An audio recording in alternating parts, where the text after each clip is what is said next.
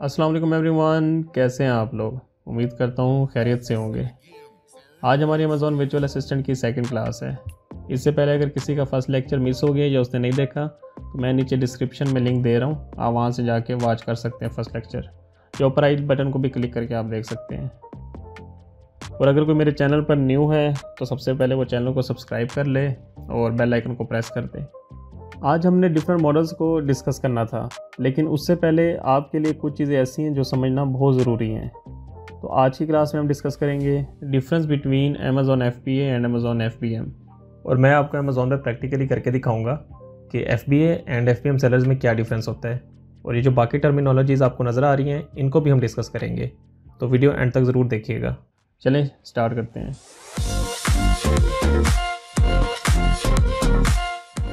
जब भी कोई अमेज़ोन पर न्यू सेलिंग स्टार्ट करता है तो अमेज़ोन उसे दो मेथड प्रोवाइड करता है। या वो एफ़ के थ्रू सेलिंग कर ले, या वो एफ़ के थ्रू लेकिन वो न्यूज़ सेलर है, वो कंफ्यूज होता है, वो किस मेथड को पिक करे। सबसे पहले हम देखते हैं एफ़ क्या है। F B A means fulfilment by Amazon इसमें जस्ट सेलर को अपनी इन्वेंट्री इन्वेंट्री मीन्स कि आपके जो प्रोडक्ट्स होते हैं, उसकी इन्वेंट्री होती है। आपने अमेज़ोन के वेयर हाउस में भेज देनी है। वहाँ से जब भी कोई ऑर्डर आएगा आपका तो अमेज़ोन उसे वेयर हाउस से पिक करेगा पैक करेगा और कस्टमर तक डिलीवर कर देगा। आपने कुछ भी नहीं करना। एफ़ पी एम में मीन्स के फुलफिलमेंट बाय मर्चेंट अब मर्चेंट कौन है? हम सेलर इसमें तो सेलर को सबसे पहले उसकी रिस्पॉन्सिबिलिटी आती है कि उसे कोई प्राइवेट वेयर हाउस अरेंज करना होता है। या उसे घर में कोई इसके पास इतनी स्पेस हो जहाँ पे वो अपने प्रोडक्ट्स स्टोर कर सके। क्योंकि जब भी कस्टमर की तरफ़ से कोई भी ऑर्डर आएगा तो उसे कस्टमर तक डिलीवर करना है। अच्छा अब इन दोनों मेथड के हमारे पास कुछ प्रोज एंड कॉन्स हैं।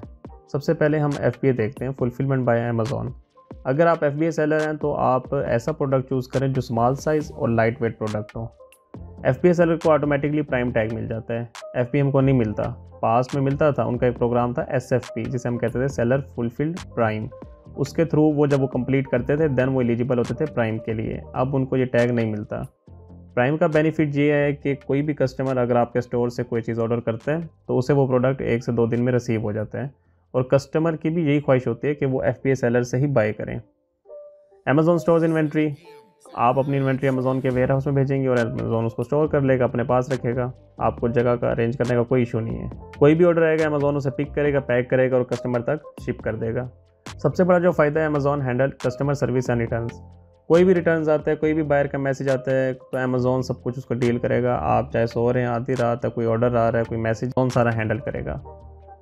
अब हम देखते हैं कौन एफ़ बी ए फ़ीस मैंने इसलिए कहा था कि आप स्मॉल प्रोडक्ट सेल करें, क्योंकि जो एफ़ बी ए फ़ीस है, वो डिपेंड करती है प्रोडक्ट के साइज़ पे और प्रोडक्ट के वेट पे। तो प्रोडक्ट जितना भी स्मॉल होगा लाइट वेट होगा, आपको उतनी कम फ़ीस देनी है। ज़ाहिर बात है, जब अमेज़ोन कोई प्रोडक्ट आपका पिक पैक करके शिप कर रहा है और अपने वेयर हाउस में वो चीज़ स्टोर कर रहा है तो अमेज़ोन उस चीज़ की फ़ीस लेता है। तो एफ़ बी फ़ीस बहुत मैटर करती है।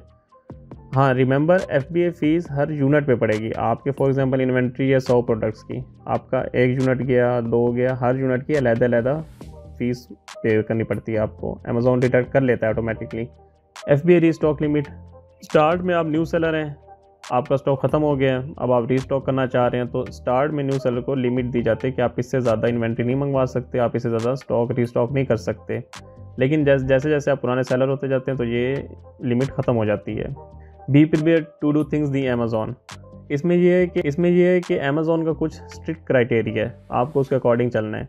अमेज़ोन कहता है कि कॉटन का वेट इतना हो उसकी डायमेंशन इतनी हो उस पर ले, लेबल सही तरह पेस्ट हुए जैसे अमेज़ोन कहता है क्योंकि आपने जब अपनी इन्वेंट्री अमेज़ोन के वेयर हाउस में भेजनी है तो आपको अमेज़ोन के अकॉर्डिंग चलना है। तो वो थोड़ी सी चीज़ स्ट्रिक्ट है जो है आपको फॉलो करनी होगी। अब हम देखते हैं fulfilment by merchant F B M sell large products इसमें आप देखें आपके अपना प्राइवेट वेयर हाउस है या आपने अगर कोई अपने घर में इतनी जगह है जहाँ अपने इन्वेंट्री स्टोर की है तो आपको उसकी फ़ीस तो नहीं पे करनी ना। आप उसमें लार्ज प्रोडक्ट भी सेल कर सकते हैं हैवी वेट प्रोडक्ट भी सेल कर सकते हैं सेल वहाँ भी कर सकते हैं एफबीए में, लेकिन वहाँ फिर आपको ज़्यादा फ़ीस देनी पड़ जानी है।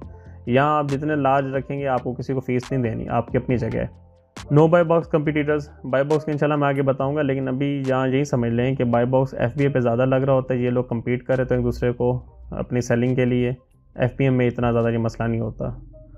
नो एम आपकी अपनी जगह है आप जितने मर्ज़ी स्टॉक करें, जितनी मर्ज़ी इन्वेंट्री मंगवाएँ, कोई रिस्ट्रिक्शन नहीं है।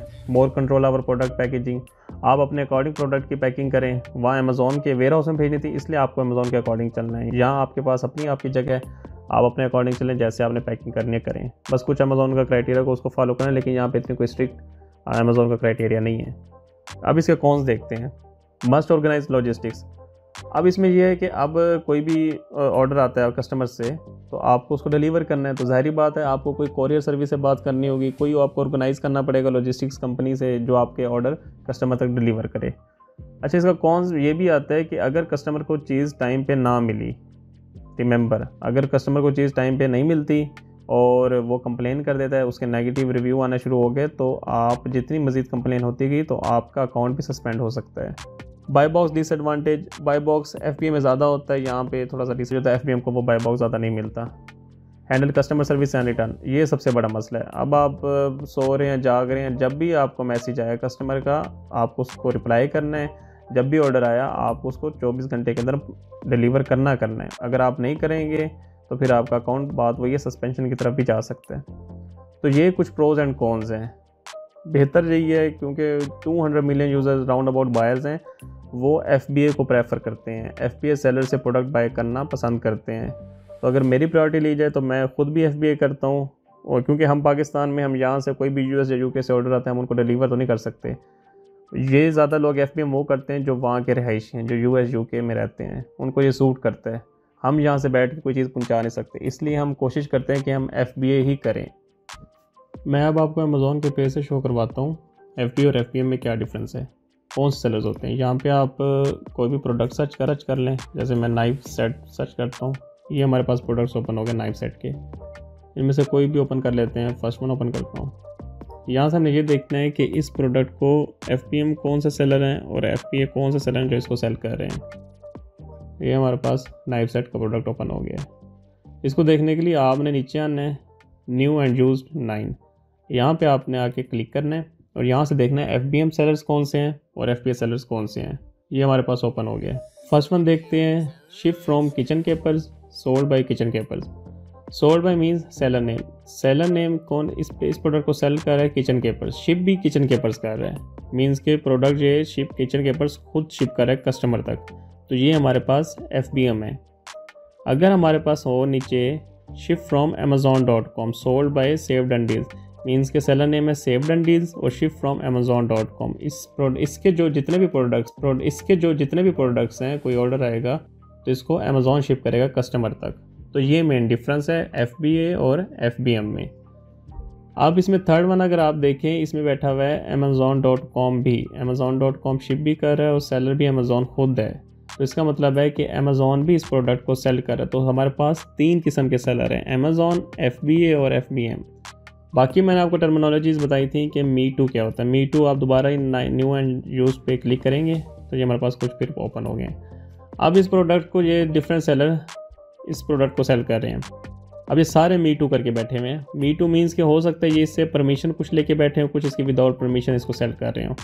तो प्रोडक्ट के साथ जितने भी बाकी सेलर चिपके हुए होंगे तो वो सारे के सारे हम उनको अमेज़ोन की लैंग्वेज में कहते हैं मी टू सेलर्स ठीक है? नेक्स्ट वन हमारे पास एसिन है।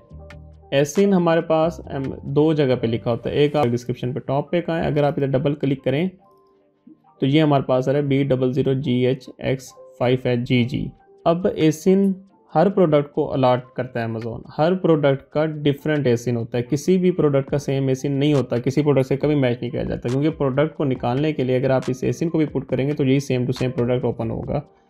एक ऊपर लिखा होता है एसिन अगर किसी प्रोडक्ट का आपने एसिन ढूंढना है तो एक नीचे प्रोडक्ट डिस्क्रिप्शन में भी लिखा होता है, ये हमारे पास एसिन है। ये इस प्रोडक्ट का एसिन है, इस प्रोडक्ट को अलाट हुआ हुआ है। अगर आप इस प्रोडक्ट को यहाँ से निकालना चाहें, इसी एसिन को कॉपी करता हूँ मैं, और देखना सेम टू सेम प्रोडक्ट यही निकलेगा। एसिन होता है अमेरिकन स्टैंडर्ड इंटरनेशनल नंबर हर प्रोडक्ट को एक नंबर दिया जाता है तो उसको हम एसिन कहते हैं। यहाँ पे यही एसिन आप पुट करें सेम टू सेम हमारे पास यही प्रोडक्ट निकलेगा। ये मैंने पुट की है। और अब देखना है same to same the knife होगी। ठीक हो गया? तो ये हमारे पास एसिन है। लास्ट है। लास्ट में टर्मिनोलॉजी हमारे पास है B S R B S R stand for best seller rank her product को एक सेलर रैंक अमेजोन अलाट करता है, उसकी परफॉर्मेंस बेस पे। हो सकता है इस प्रोडक्ट की सेलिंग अच्छी हो, इसके रिव्यूज़ पॉजिटिव हो। इस बेस पे अमेज़ोन इसको एक सेलर रैंक अलॉट करता है। वो सेलर रैंक हमें कहाँ पे मिलता है? वो अगर आप इसी प्रोडक्ट डिस्क्रिप्शन में नीचे आएँगे तो वो आपको यहाँ पे नज़र आएगा बेस्ट सेलर रैंक इस प्रोडक्ट का क्या है?